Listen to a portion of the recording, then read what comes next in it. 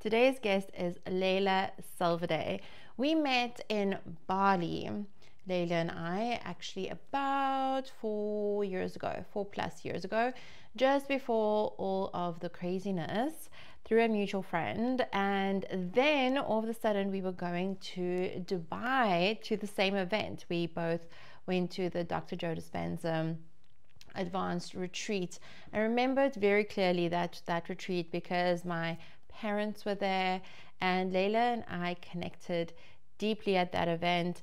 I absolutely adore her work. Leyla does everything HeartMath and heartfulness. She is a leading heartfulness therapist and expert in heart brain coherence, in resolving uh, inner child things, in helping. She works with like some of the wealthiest people in the world, royalty, billionaires, and she helps them with whatever issues. So, actually, right at the end of the episode, I ask her, What are some of these issues that these millionaires, billionaires, royalty have? And her, her answer is really, really fascinating. Leyla in this episode shares her story of being bullied and why these days, and, and her bullying is in, intense. She's got a chipped tooth still from from that, which is wild. She goes on to say, you know, why she doesn't mind ruffling feathers and why she actually likes it. She shares what's better than plant medicine. Plant medicine is all the hype these days. And uh, what's better and cheaper than plant medicine. So stay tuned for all these goodies. Stay connected, stay curious. Send you, me your comments. Let me know what you think, what questions you have. I will be there to answer them. Enjoy this episode.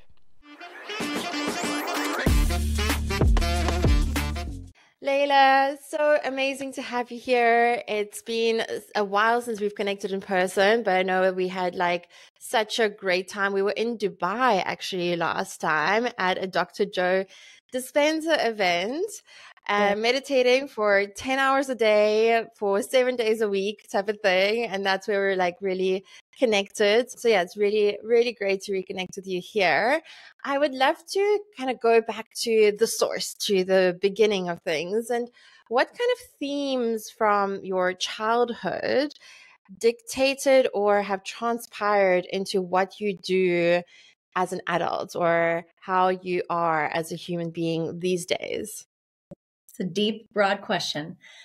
So mm-hmm. I would say some of the main codes that follow through into building my operating system would definitely be growing up in a multicultural home where I heard six mm. languages at the same time, everything from Arabic to Swiss German. And wow. Yeah, my mother was born in Egypt, grew up in Lebanon, but she's half American, half Lebanese. My my father's Swiss, but he grew grew up between Colombia and Venezuela, so it wasn't unusual for me to hear six languages in one given day. My mom and my father would be on a phone call and they'd be flipping between three different languages at a time. So that is definitely a core code that has carried through of just the deeper in intuitive knowing that we are all connected, we are all interwoven, right? That just was such a foundational knowing from a young age. The, the different cultures, the different languages that inform all of us, especially now in, in the world that we are living in with internet, right? Um, and then also, so just that unity consciousness, I think, is is a core code. Another one would be certainly I was hyper intuitive as a child many children are, and then we get knocked out of it through the school system, the modern school system. But that certainly was very true for me. I was a hyper intuitive person. I was actually more fundamentally operating from the intelligence of my heart, from my heart brain. And that lead or led to me. So what, what that means is I grew up in Switzerland in a small town in the forest. I was what my sixth sense, which is the heart intelligence, was wide open. And so it wasn't unusual for me to sense those other things beyond the 3D and just interact with that, right? So I always say that the forest and the trees are what built my intuition because I would get lost in the forest. I mean, I, I remember being five years old and just going as far and as deep. I'm a little bit of a crazy person. I just, I always want to challenge myself and I'm very curious. So I would just, you know, go one mile further or one kilometer further that day into the forest and, and then somehow, and this is the power of the field, right? When we connect and connect to it through the power of our heart, I somehow always found my way home. And that was me really building the the the intelligence of my heart, the power of my heart because the heart is also a a muscle as well as a brain and an organ. And and mm-hmm. so I would mm-hmm. say that certainly as well, really just being connected with nature, with the elemental wisdom, with the sixth sense and all that is included within that. Um, mm-hmm. And I would say another one to to kind of create a trinity here is certainly the difference in let's say being different and how when you live eh, you know it was such a stark contrast for me because I was very let's say unique compared to the average person that lived in this small Swiss town that I grew up in and I was there from six years old to 12 years old. And the bullying that took place and the wrong making, not only from my schoolmates, but also my teachers, was hardcore. Um, we're talking emotional, physical, and mental, like bullying, right? Um, I even have half a tooth missing because of that time in my life. It was it was pretty yeah. intense. But that that kind of experience, right? Of later on being able to recognize after going through, you know, trauma healing and inner child healing and all the healings that are necessary when you when you kind of grow up in that kind of an environment um, outside of your home. It's or outside of my home. Um, it really helped me understand what happens when people solely operate from the mind and the mm. contraction and the separation that takes place from that operating system and mm. that definitely is also a follow through and and ultimately you know for just to give an example i i was a visual i am a visual learner and so in first or second grade i you know we were learning how to count so i was like okay one plus one oh it's two right and the teacher came and just slapped me across the wrist with a ruler and said, that's, you know, if you have to count with your hands, you're stupid. Don't do that. Count in your head.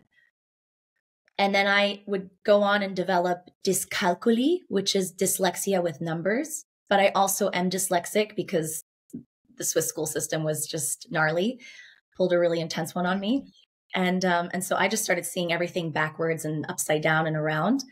Um, so even that, right, being able to go back to that realization of okay i'm diff- there's so many different learning styles. There's so many different operating systems none of which is better than the other. They are all perfect. But if we force a child to learn in a way that is not intuitive to them we're going to cause a lot of damage. And if that individual doesn't have enough support or um, awareness to heal that damage, you know, they live with that for the rest of their lives. And thankfully, I had the support and the means and the awareness to recognize that, you know, I can go back and heal that and, and recenter and recognize that I am not stupid because that was yeah. a core belief that was really um, pounded in for many years. Wow. Thank you so much for sharing. I'm curious about some of the words that you use or your choice of words from codes to operating systems. For anyone who's newer to these ty- this types of this type of language where where does it come from for you? Like where where did you first come into an understanding that things do operate in codes and operating systems? I think it's it was an amalgamation of many different pieces coming together and then just me doing my own research and writing my own programs and in the process of writing my own book as well where i just developed this language but um, i truly fundamentally believe that we as human beings are the most intelligent design and or if you want to get a little edgy device ever designed right mm-hmm. this this thing called the human body it is so meticulously perfectly designed it's it's magical. There's no mm-hmm. other way that can really fully describe this incredible thing right called the human being. And every little piece of it that it is required in order to operate at our full potential right? And i have um one of the original vision videos for my first company standing light um, it's it's on YouTube. You can go check it out at the Standing Light YouTube channel. And I and I share this code that your heart is your core processor. Your head is your hard drive. Your body is the motherboard and your spirit is the power cord. And so mm. That's a us, beautiful visual. Can can you just repeat that again? Your your heart is the your heart is your core processor. Core your processor. Mind, mm-hmm. Your mind, your head is the hard drive. Mm-hmm. Your body is the motherboard, and your spirit is the power cord. Wow. I love that. That's beautiful. Yeah, I guess I resonate with it on a very profound level to the degree that I don't know if there's I don't really believe in man versus machine. I almost mm. see it as a spectrum of mm. biology and then the technology, and that nature is technology. Mm. And I had all of these downloads a few a few years ago, and even like you say, like you grew up with six different languages. I have a, a tattoo that re- represents the first three languages that I was coded in, which mm. was uh, you know Russian from the USSR, Ukrainian, English. So I love how you you explain all of that. The thing I wanted to ask was about the heart brain for anyone who's completely new to what that means and has never heard of the heart brain before. Can you share a little bit more about that? Absolutely. So, heart intelligence is a very real thing. This is not something that's made up. And just to um, share one of the biggest institutions that's been studying the science of the heart is called HeartMath. They're based in Boulder Creek, California, so Northern California. Uh, that's where I did a lot of my studying on the power and the science of the heart. I then took it much deeper and I studied with Drunvalo Melchizedek's predecessor, Daniel Mitel, and so on and for, so forth. Just went very deep into the more spiritual science of the heart, let's call it, which also is very much connected with quantum physics. And so backing up to your last question, you know, where I got this kind of language from, I would say it's also very much informed through quantum physics. Mm-hmm. But heart intelligence, I'll just give the heart intelligence 101. So every single yeah. human heart is made up of 40,000 neurons. These are sensory neurites, which function independently from the head brain. And these 40,000 neurons called the, the heart brain send more information to the head brain than the head brain to the heart brain. And hmm. then let's go a little bit deeper than that, right? Now we're going to go to the moment we started being built, right? We started forming in our mother's womb. And the first organ that's ever created is the heart. And that's how scientists realized that the heart has its own functioning brain because before the head brain is ever developed in uterus, the heart organ begins to pump, begins to beat. And that's how they realized and recognized that the heart has its own brain because it knows to start beating and pumping before any other brain is ever developed. So then take it even further back and let's just drop into the beautiful, magical synchronicity of soul light igniting in the womb and that being who we are, who you are. You are your soul. And then your heart forming around that soul, that light, who you are, that you are. And then everything else forms, right? But that is the creation story that I feel is not spoken about. And we have become so soul disconnected. and when we reconnect consciously with our heart and soul, because in many ancient traditions, Vedic, uh, Vedic traditions, they actually talk about the heart being the first chakra. And now, when you understand the bio- biological process, right, that makes sense. Of course, the heart would be the first chakra. And if you don't know what chakras are, those are energy points in the human body. Um, the most famous ones are are seven of them, right? And the center of those seven chakras is the heart, right? So the heart is not only an organ, not only a muscle, not only a brain, it's all three of those. And the intelligence of the heart is intuition. And so when we want to break it down into what I like to talk about in my workshops and courses, the human intel, we have three brains. First being the heart, the intelligence of which is intuition. Second, the gut brain, the intelligence of which is instinct. And then third, being the head brain, the intelligence of which is logic.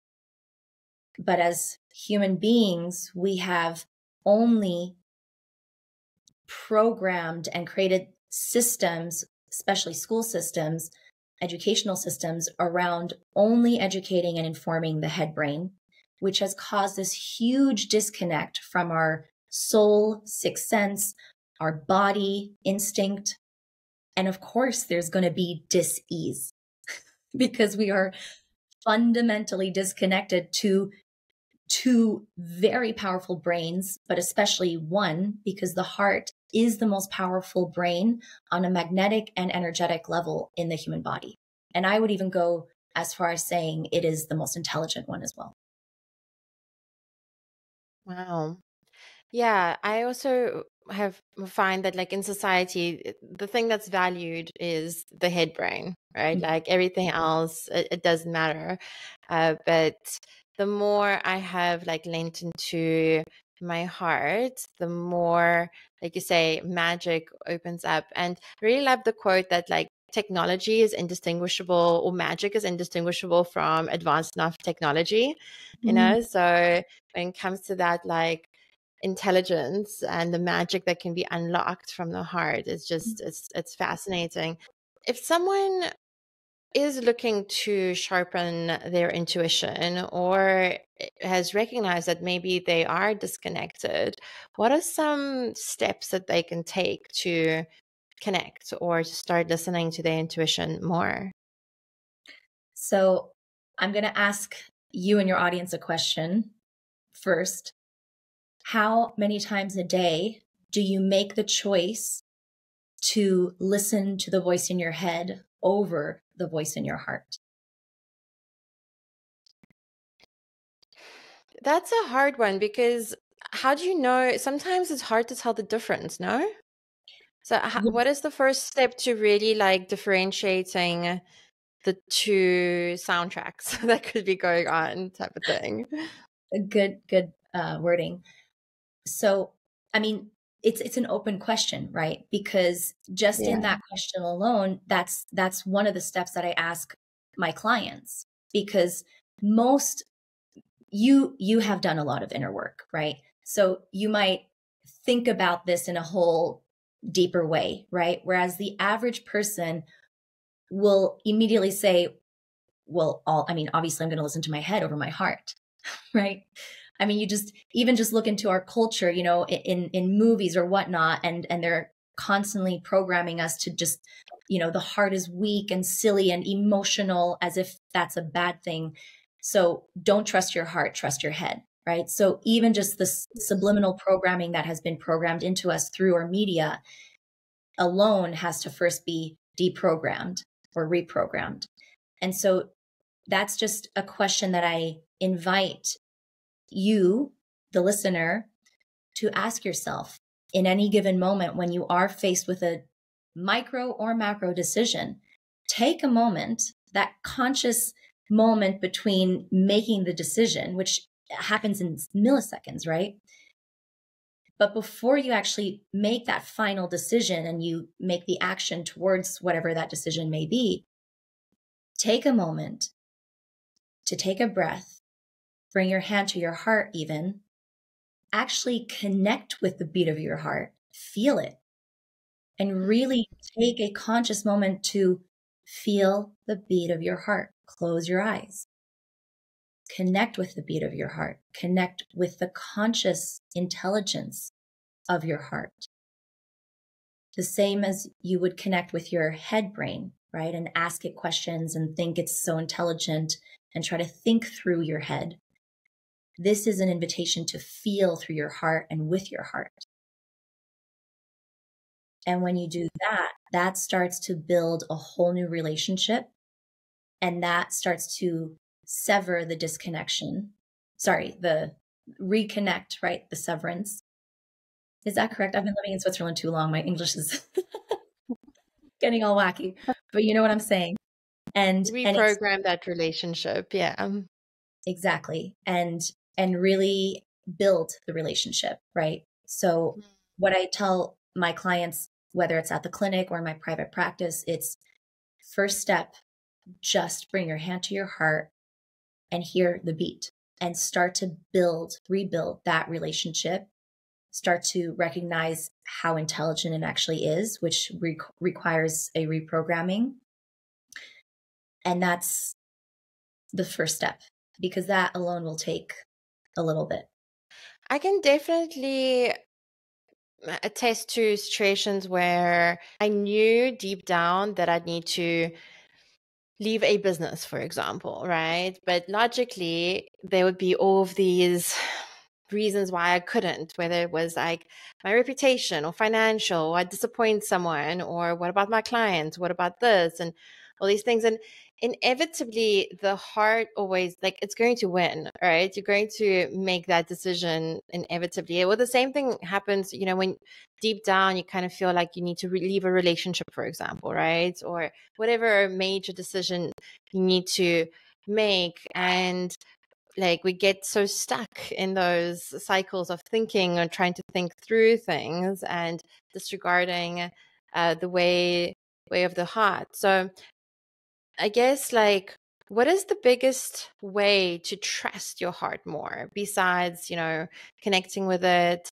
Uh, but like to really build that relationship and that trust like what are some some things that can be done?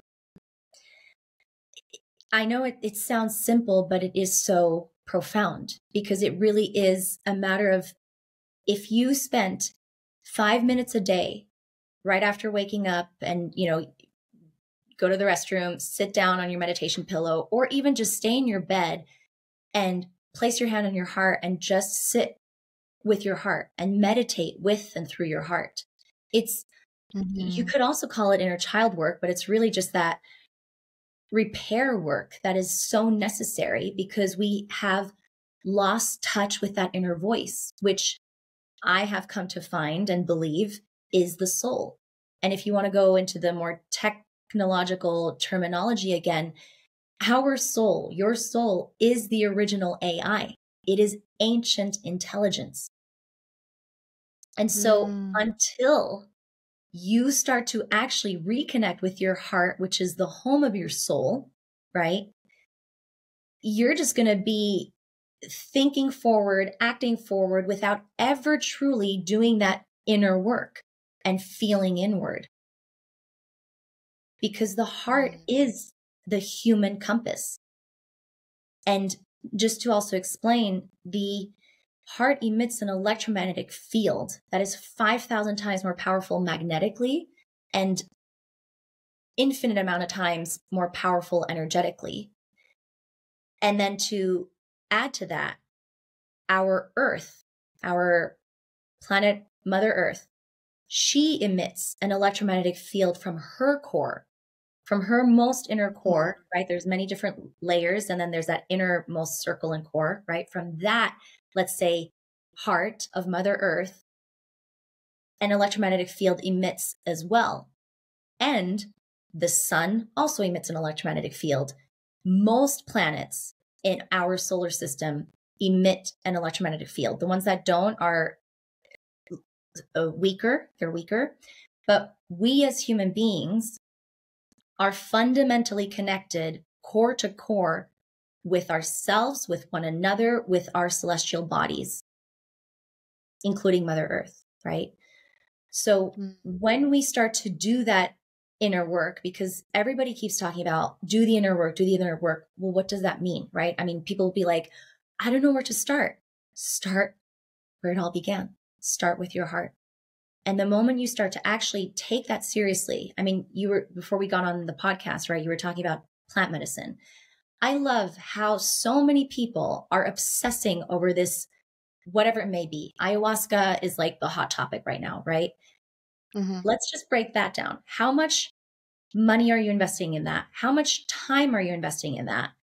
Because you're taking time, usually, if you do it, you know, full fledged way, you're you're researching who's the best shaman, what's the best place to do it at, right? That's a lot of time and energy. Then you do a dieta before you go. Then you go, then you're there maybe what? I don't know, a few days, a week, 2 weeks. Then you need some integration decompression time, right?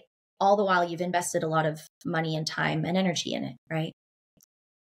What if you actually just took all of that energy and time in simply coming home to who you truly are and rebuilding that relationship.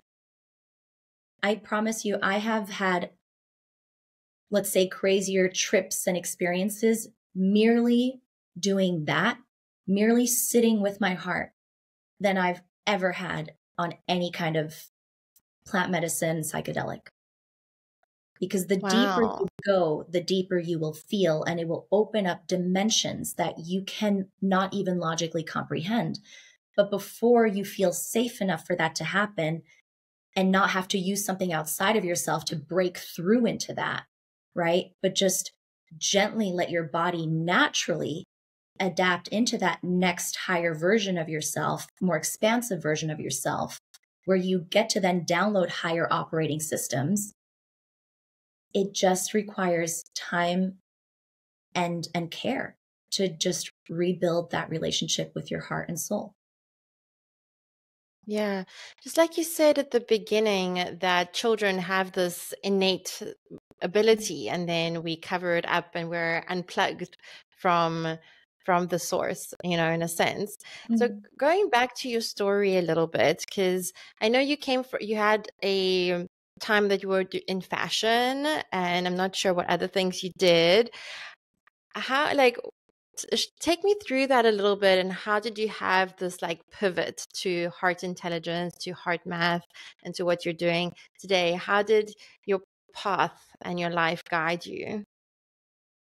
It's a very long story but i'll break it down yeah we're here.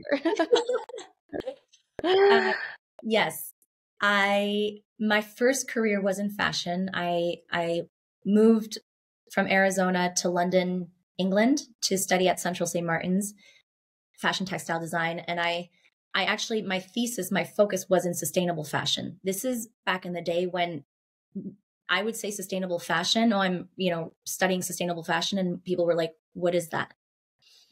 So mm. that's that's how far back it went. And um, and it was incredible. Um, so from the beginning, you know, I look back at my kind of path and pattern, and I was always trying to find the source of the greatest disconnect on this planet for this humanity to try to reconnect or heal, right?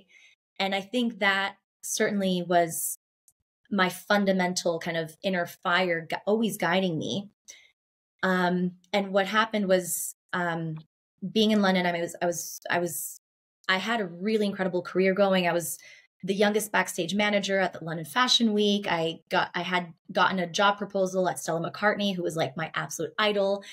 And then in a very short amount of time, everything that could have broken down, broke down um, in my personal life, in every, and then that affected everything else. And that then activated my first dark night of the soul. And there's a longer story around this, but ultimately, I decided to move from London to Los Angeles.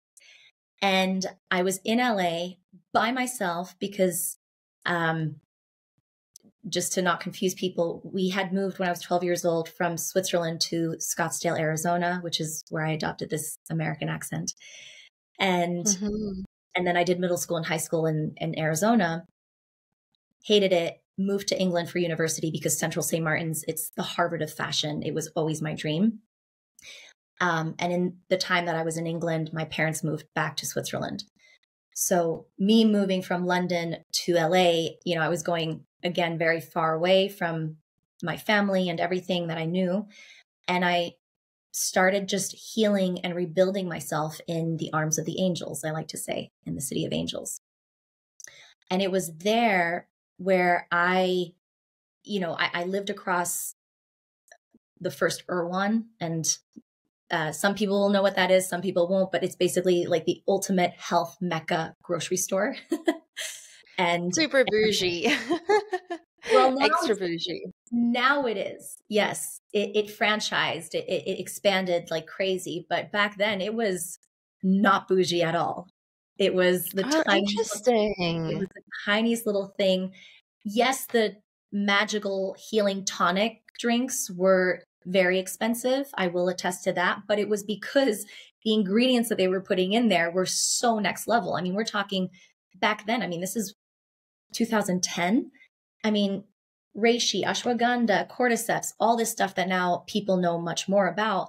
And there's many ways, many more ways to source it. But back then, you know, it was, it was a very special um, item. So, and they were putting much more of those ingredients in the tonics. Now they've they basically let go of the original tonic wisdom keepers and they mm. put in much less of the ingredients. So you're still paying 15 bucks for a cup, but there's much less ingredients in it. Okay. Anyway, um so interesting. Yeah, nice sidebar. but I didn't know all of that about Erewhon, so that's very cool. Yeah. So you're back. You're in LA, and uh, what happens? What happens there?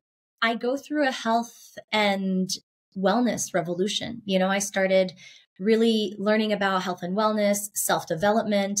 I I found myself doing Landmark, which back in the day was you know pretty revolutionary. Now it's not so much, and definitely has a you know certain opinions about it but i just i started going really deep into that inner work into the healing work into the nutritional work and in that time, I was going so deep and I was working with actually a, a shaman, a medicine woman, not doing medicine work per se in terms of like um, plant medicine, but really true medicine work.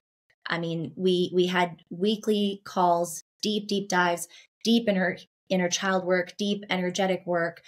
It was it was incredible, and so I was really doing the work, let's say. And in that time, I was, I started my meditation practice. So I was what, mm. 22, 23 years old, doing all of this work with this shaman. And I remember the first, the second meditation, like conscious meditating I ever did. I don't know why, but I started channeling. And that's when my first company, Standing Light, literally just downloaded into my being. And it was like this out of body experience of God or a godlike voice telling me, Leyla, do create this company called Standing Light. and mm-hmm. I, and you're asking about like how I came into this heart journey or heart intelligence path, right? that was one key moment. But going back to 10th grade when I was 16, 15 years old, I was in chemistry class, and this is actually on my about page on standinglight.com, a little version of it. Um, I was sitting in chemistry class, and the teacher was going over chemical compounds. I, being the artist at heart, bored out of my mind, and I just start doodling on a piece of paper what potentially my chemical compound could be. I just felt inspired to ask myself, well, if there's all these chemical compounds, what's my chemical compound? And I just started doodling all these different signs and symbols on this piece of paper, which I think I still might have somewhere. And suddenly I see this heart. And what had happened was I was doodling the Aries symbol because I'm an Aries and I'm born on the 5th of April. So what ended up happening was the Aries is the top part of the heart, the Aries symbol, and then the Roman numeral 5 is the bottom part of the heart. So I actually got it mm-hmm. tattooed for those of you that okay. are just yeah. Uh-huh. And wow. It's and I as soon as I realized that, I had, I really, that was my first out of body experience. I suddenly was in my astral body looking down at my physical self, realizing that my birthday created the shape of a heart. And I, I asked spirit, what I now call spirit, in that moment, what is going on? What is this? And I got an answer of, Leyla, you're not going to know what this means now, but when it's time, you will. And so I got a fake ID, ran and tattooed that symbol on the left, on my left wrist, and the rest is history. So that was 10th grade, 16, 15 years old. Fast forward to then 22, 23, and getting that download of standing light, and then immediately connecting the logo needing to be that shape, right? My my chemical compound and soon after, I would discover Gregg Braden HeartMath mm-hmm. and go into that. So it was mm-hmm. it was just these it was kind of like a scavenger hunt quite literally right i just yeah. pieced it all together and and then once i was able to recognize the pieces i wove it together and i to this day never wrote a business plan it was always and always will be a heart plan because I let the compass of my heart guide every move that I make now. It was a little bit more difficult back in the day. I'm not going to lie. It takes some reprogramming, as I said. That's that's how I came into this space. Beautiful. Thank hmm. you for sharing. And how has this standing light way of life and this heart centric way of life how has that impacted your relationships? How's, how does it impact the way you relate with people in your life? It's it's the fundamental operating system of how i relate and how how we as humans relate right? This isn't it's not just a standing light method thing it's it's a heart thing. And when you understand how the heart operates and its power what i haven't shared yet is that every thought and emotion goes from your heart into this electromagnetic field. And if you've never seen an electromagnetic field, I invite you to Google it and either type human electromagnetic field and or human torus field because torus field mm-hmm. is is pretty much the same and you'll understand what I'm saying because it really is this it looks like a web of life right? That emits from the heart all around you. And every one of those lines that forms the web is informed by your thoughts and emotions. And we call this field the subtle field. And this is an electromagnetic field that is emitting out of you and back into you constantly. There is not one moment where it's not, unless you are done with this life and you're going on to the next, right? Um, and so just to understand that we are constantly relating through and within this field with ourselves because it's what programs our reality. Imagine if every thought and emotion is going from your self, your heart, and informing the program of this so called electromagnetic field, that is your reality, right? You are seeing the world through this field. This is your movie that is being played. And then that's what people are sensing and feeling and picking you up as is whatever you mm-hmm. have emitted and are emitting whatever you've emitted into this field and what's emitting out of that field. As human beings or in relationships, right? We are sending more information through our hearts and through the fields than anything else. And that's when you you sense and you feel, right? For example, when somebody you're in a room with a bunch of people and suddenly somebody walks in and they just have this, I mean, you don't even see that somebody is walking in, but you just feel or sense something and you can't explain it. And you turn your head and this incredible being is walking in and you're just like, what, what does that person do to just be that lit up? You know, it's, and, and that is the power of the, the sixth sense in a sense, right? Because you don't have eyes behind your head, but you sense these things and you clock it. So you could really you know call this this they in ancient egypt they call the the heart the eye of the heart they call it an eye mm-hmm. because when you actually train it you will start to pick up senses beyond your five senses. And so in relationships in relating right when you understand or rather understand this very powerful technology that is our original communication channel, you start to operate in, in a much different way, in a much more conscious way, because you recognize that anything that I am sensing and feeling and thinking on a subtle level, the person I am right next to is going to sense and feel. Their logical brain might not be able to process it, but on some level, they are feeling it and they are going to mm-hmm. pick it up, vice versa, right? So that kind of, you know, sixth sense is is not a woo woo thing. This is a very real exchange that is happening constantly.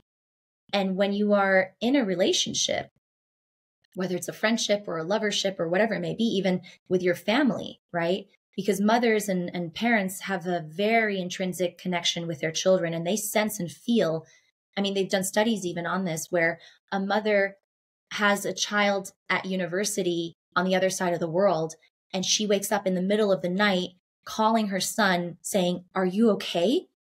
Because she just was woken up by this ping. And sure enough, the son is having a total nervous breakdown and about to commit suicide. Wow. These are very real circumstances that have happened and that will continue to happen. And they happen through the field. It's it's our original World Wide Web. It's our original communication channel. Our satellites, our hearts are satellites for the people that we connect with on a fee- on a on a vibrational level. It is it informs every part of my relationships, the one with myself and the one with everybody in my life, because it, it really brings you into this into the realization of how responsible you get to be with your energy because it really does affect everything, including most importantly yourself, right? So then the question is, what kind of energy do you want to feed yourself with on a daily basis? Do you want to feed yourself with the lower vibrational energies such as shame, fear, judgment, and just keep that on a loop, which most humans, that's their fuel. That is the energy that they choose to operate through and by. Or do you want to, mm-hmm. you know, break the matrix and use those higher vibrational energies and or emotions such as appreciation, gratitude, love, trust and let that fuel you, right? Because when you're letting that fuel you and it's not to say that the lower vibrations are bad and they're not good to process. We need to process them.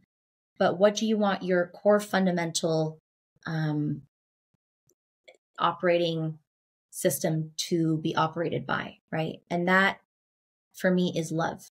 And when I made that shift from fear to love, my whole life changed. Everything started to change. What I like about what you said there is that despite us thinking that we can hide things from people, I don't think we can hide all that much. And it mm. doesn't have to be specifics or nuances of, but you can like very definitely tell the level of vibration, whether it's heavy or light. And I think a lot of people lie to themselves and others about how much they think they can c- conceal things. And when we are tuned in to the field, there's not much that gets away from us. I do see, like, I appreciate relationships where people can understand and see that. You know, mm-hmm. I have some friends who tell me, Leyla, they would be like, I don't want to hang out with you because you're going to see the whole meeting. and I'm like, okay, fair enough. You know, like that's transparency as well. but people are afraid mm-hmm. of that kind of power, right? Of that kind of intimacy into you, I see. Mm-hmm. Yeah, it's just it's so new i think mm-hmm. that like the big a big part of the world is still living in the dark a little bit and thinking they can conceal and hide things whereas the more we come into this light and understanding of this field um the more responsibility we have to take to be better as well you know and that takes work and most people would rather scroll and read a million different quotes than sit with their heart for five minutes. And on that note of like plant medicine, one of the big messages I got in my recent ceremony was just like integration. Like you just mm. have to integrate everything and not just integration from like the ceremony perspective, but everything that you're consuming, you know, like if you read a book, integrate it. If you learn a method, integrate it versus like find the next fix and the next potential method, whatever. I was curious with the way you see things and unity being one of the predominant codes, what happens when two people have severely opposite perspectives on something. I'll give you a practical example. So, uh, my grandma is very into her Russian propaganda because she lives in Crimea. My dad is super pro Ukraine. And this is just in my family that I can I can see, right? And they have this really hard time between this like pro Russia, pro Ukraine um perspectives and it's painful for them you know to to sit with that and go through that so what what happens like in your view when when when that kind of like headbutting occurs and where it's feels impossible to see the other person's perspective or this unity consciousness to exist um, how do you how do you go about how do you go about that? You're asking me to solve uh, world peace right now but um i know. Why not? I, I believe anything is possible so let's go um, I'll just share my, my opinion on on just I mean just the example that you gave, right? That's a very standard way of operating because both your grandmother and your father are operating from the mind solely, right? They are stuck in one belief, which comes from the head, and it's based on fear because if they took a moment and really came into their hearts, they would recognize that at the core of both of them, what they want is peace, is love, is safety, is togetherness, is unity.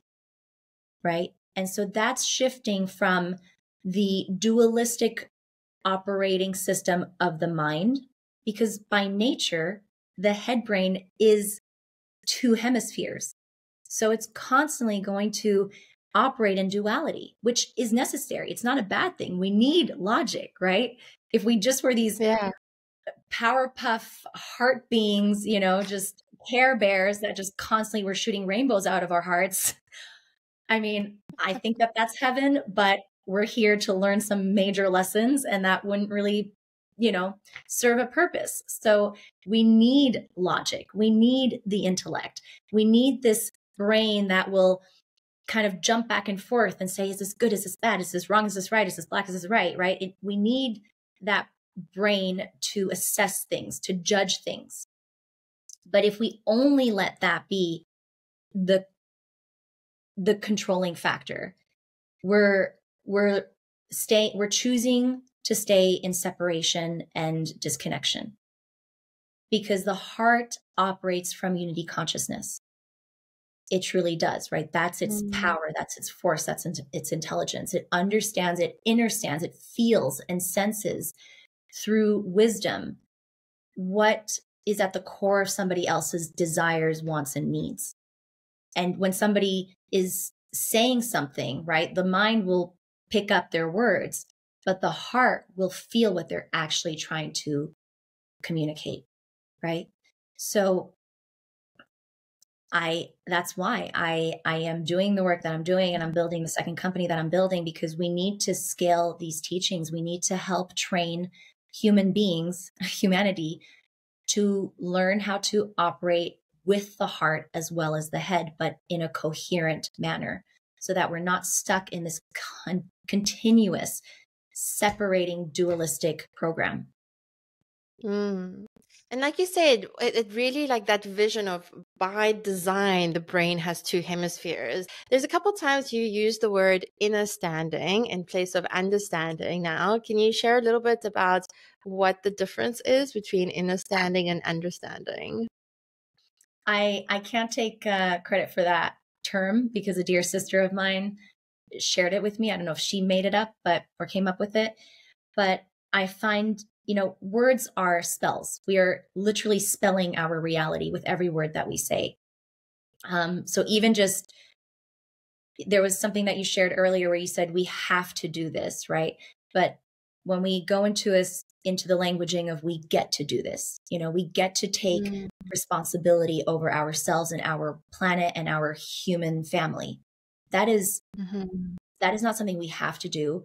Yes, we do have to do it if we want a better world, right?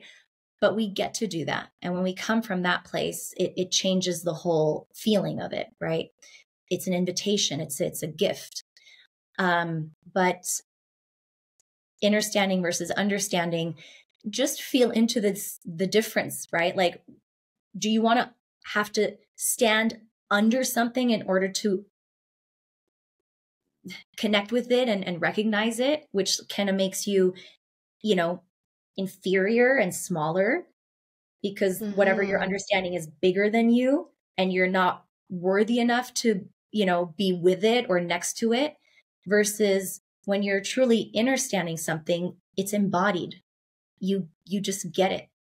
It's fully downloaded and integrated in to you.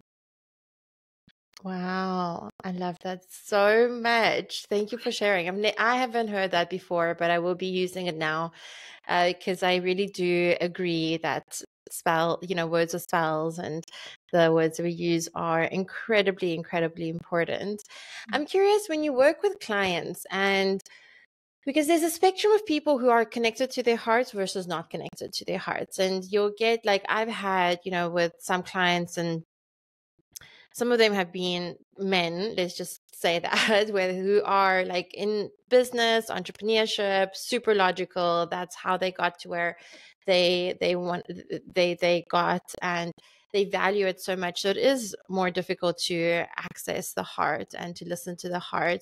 When you do have a client who's struggling extra to to get there like what um i guess like is it just time and patience and practice? Especially if someone's really like stuck with like oh I, I, it's it, like the, the way i operate is so much in my brain that like i can't even imagine operating from my heart. Like for someone who's in that kind of scenario what what do they do? What what could they do? That's it's normal right? Especially for men um the mm-hmm. programming imagine i mean put yourself in, in their shoes. For men most men have been told most of their lives that if they cry, they're weak. If they, you know, feel anything or connect with that part of themselves, let's call it the inner feminine, right? Because every single human being has both feminine and masculine within them, right? And we're now in an era where slowly but surely, as a collective, we're starting to recognize that and honor that and start to do that um, that inner work where we're really balancing the inner feminine and masculine, man and mm-hmm. woman, right? So I think that's one thing, especially to to really um, to address. Um, it's funny because I so I, I have my private practice, coaching practice, right? But then I also I'm a, I'm a heartfulness therapist at the world's most exclusive clinic, which services ultra high net worth individuals, billionaires, royalties, you name it. And most of them are men. So oh. my my approach is meet them where they're at, right? Like I used to back in the day when I was a little bit more uh, fresh in the game, let's say, I felt this fire of just, or the, this, this thing would take over me. I, I just wanted to blast somebody with my light and just heal them and, and just saying it, right? I mean, that's such an ego driven thing.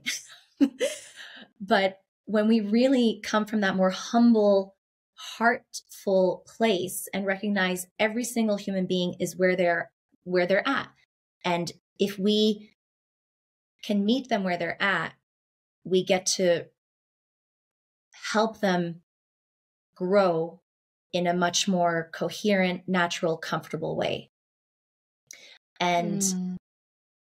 And and that's where true guidance and true coaching i feel like is is um happens right? When you when you meet that person where they're at not making them wrong for being too head brainy or too feely or you know too much or not enough or you know i mean those are big traumas in humans being too much or not enough. And many of us have both right of those traumas. So as men i think you know i'm just going to blanket statement this most of them mm-hmm. feel like especially now with the whole me too movement which has, in my opinion, gone way out of hand. And there's so much of the like angry, dark feminine that's just been casting out all over the place. You know, you you turn on Instagram and and there's all these actually masculine women, you know, with like nails out to here, reprimanding men and saying they're not men enough, they're not powerful enough. And it's just like, do you really think that that's actually going to help the divine masculine feel safe? You know, because the dark feminine is also toxic. And there's a lot mm-hmm. of that happening right now. So I think if, especially as a woman, really embodying ourselves in that loving, fierce, also protective feminine, right? If if we're in, in the coaching domain, right?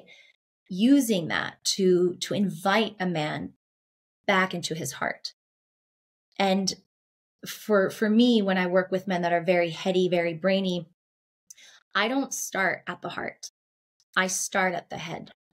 And i have you know my the HeartMath tools where they can literally see their heart rate variability and they start to see when they're coming into coherence versus when they're not in a coherent state. And and that's what i'm saying like i'm meeting them where they're at because if if they're not ready to go into the heart it's me just trying to tell them about it and shame them for it or whatever is not going to help, right? I have to meet them where they're mm-hmm. at. And so I show them the science because the head loves science, it loves things that are proven, right? And we start there gently, slowly. And then slowly, once the brain trusts what's going on, it will then let go slowly and start to kind of give way to accessing the heart. Mm, beautiful. And what type of things, I'm just curious, these billionaires and royalty and all sorts of quote unquote successful people, uh, what type of things are they working through? I know you can't go into details, but like what are, what do you think are the maladies that they're looking to solve when they do come to a facility like the one you work at? You know, that's what's been so fascinating is that recognizing that every single person that I have gotten to work with, it all comes down to the same thing. They're just, and, and they wouldn't put it in these words. They wouldn't, you know, describe it like this, but ultimately all any one of us wants is to feel connected and safe within again, to have that inner love, that self love. And so whether it's a client that I mean, I, I'm I'm working with everything from like any addiction you can imagine to schizophrenia or to just basic, you know, health and wellness top ups in a sense, you know, just so there's the whole spectrum that I um, yeah, that I work with at the clinic specifically. But whatever traumas they have, which are plenty, and we, you know, you don't have to go to a clinic or be somebody famous or powerful to have trauma. Um, it, it's all, we all are desperately desiring to be connected to the source of love. But that happens from within. And that can only mm. truly be healed when we choose to reconnect to the source of love from and with our hearts.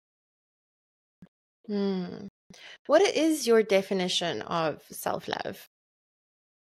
No one's ever asked me that. That's beautiful. My intuitive answer is self love is being so surrendered in trust and knowing that whatever you do, feel, or experience is happening for your highest good.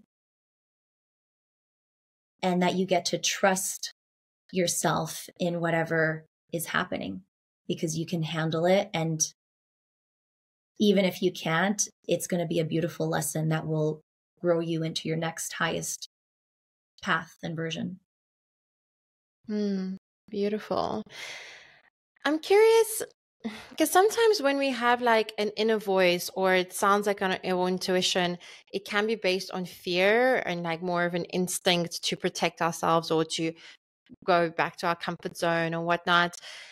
If someone's like newer to understanding, oh, is this a, a fear based direction or voice, or is this my intuition that's expansion based? Like, how would someone go about uh, discerning between the two? It's a great question. So you can actually viscerally feel the two experiences in your body. And so mm-hmm. what I mm. say is when you're make you know going through that decision making process again like connect come into your body and you don't have to put your hand on your heart just sit with yourself and take a few deep breaths and really start to come into your body and, and get out of that chatter mind, right? And then when you're in that embodied conscious state of awareness, then feel into both of the decisions that you might be making, right? Should I do this or should I do that? And even if the one that your mind was scared of is because let's what tends to happen if if it's just a logical instinctual fear but it doesn't it it's not out of um, a true danger right? Like you're not it's not going to harm you if you do it let's say right? It's just the ego trying to protect you from change because that's how it's wired mm-hmm. you will usually in your body when you feel into that let's say ego fear option your body will actually go into an easeful, much more calmer feeling. And if you have a sense of your electromagnetic field, or just imagine this bubble of light around you, it will actually expand. So, if and when your body feels calm, at ease, and expanded, and even if that expandedness feels like excitement, that's that, right? that's the decision you get to go forward with. And then if the decision is contracting you and really, you know, making your heart go into a heightened state of uh, just fear, it's probably not for you, at least not in that moment. Okay, but letting so, your, your heart really feel the difference, right? Yeah. And I guess a big part of that is like practicing feeling those two things so that you know what to look for. Because at the beginning, it'd be like, is this expansion? Is this contraction? I'm not, I don't quite know. And then, like, as you practice it as a muscle, going like, oh, yes, I'm feeling more relaxed or I'm feeling more tense, like whatever it is. For that, um, yeah. the way to practice that, and we can do it really quickly. I know we're, we're, um, almost out of time, but I recommend starting with literally just your name. So, should we do that really quickly so somebody can take the time to actually practice this and feel into this now? Yeah, okay. I'd love that. Okay, so I invite you as long as you're not driving or operating any heavy machinery, take a moment. Uh, yeah, take if you moment. are, come back to this part. yes. Stop here. Yeah. Here. So just close your eyes. And if you want, bring your hand to your heart and just connect. Feel the beat of your heart.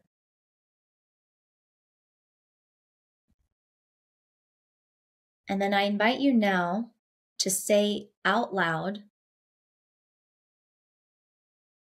your name. So, for example, my name is Leyla. And I want you to my say that. My name is Anna. And you say that, repeat that a few times out loud, and just mm-hmm. feel how your body, how your heart responds.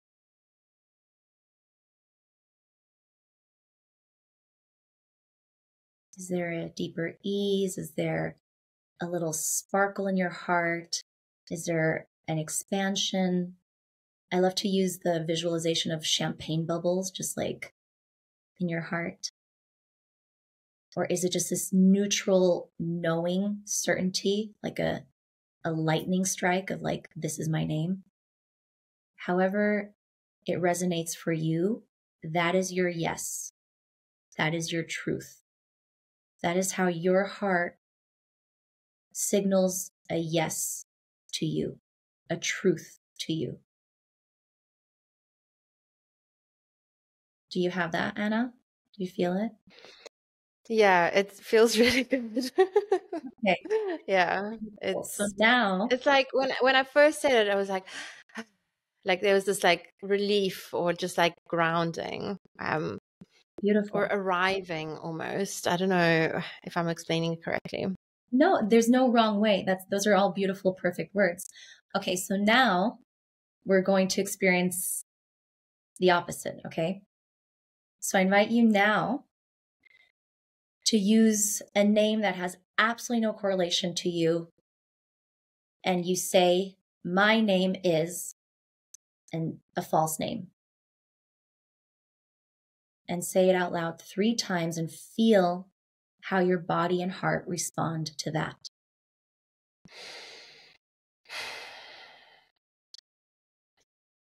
So if I just say, My name is Derek, my name is Derek, my name is Derek.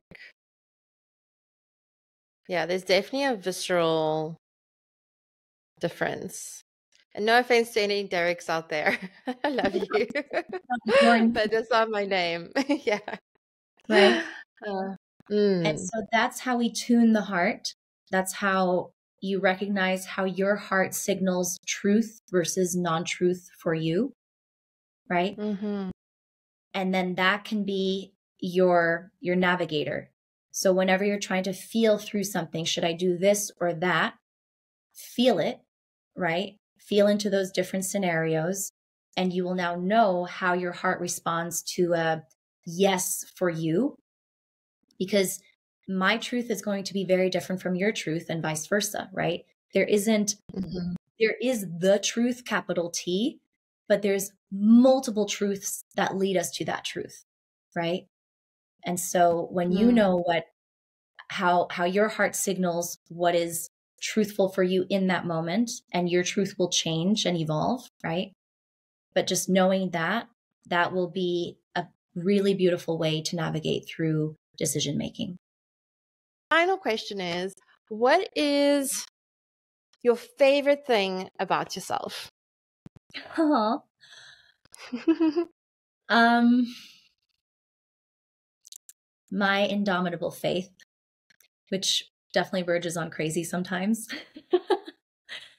but just the constant fire in me that that trusts and is curious and open and operates from that place of love. Wow. Why do you say your faith is why do you call it crazy?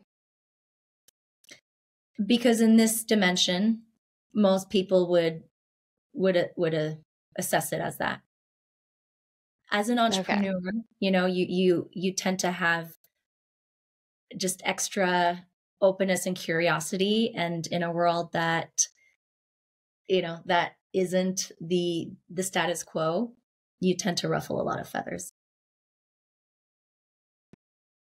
Beautiful. And I'm curious, like, what does that look like? The ruffling of feathers. Like, wh- when was the last time you felt that you've ruffled feathers? What what happened? Um, I don't know. Yesterday.